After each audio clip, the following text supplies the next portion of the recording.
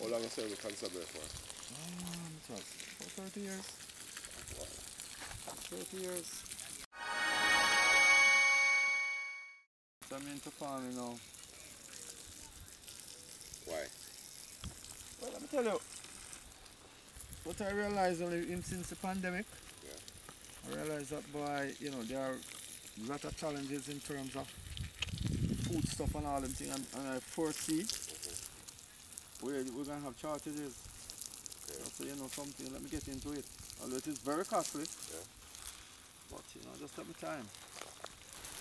Tell us some of the crops that you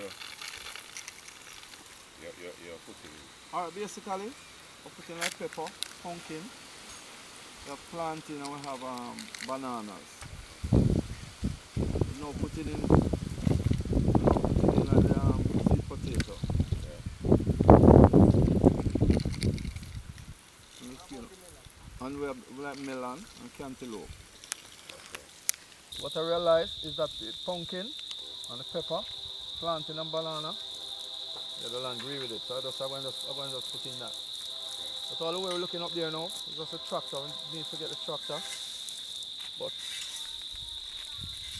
People come in and buy from you? not really. Okay. No. You drive and go sell it yourself?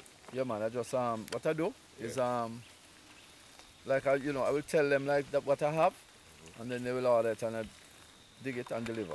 I don't I don't have no problem with praedial larceny so far. Thanks. Thank be to God, but not so far. I haven't got I, I don't have no problem with that. Okay. Is it because of your reputation to, Uh, stop them?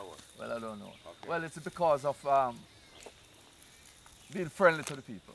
I see. I hear you, sir. It takes good community spirit. Well, I tell you. Yeah.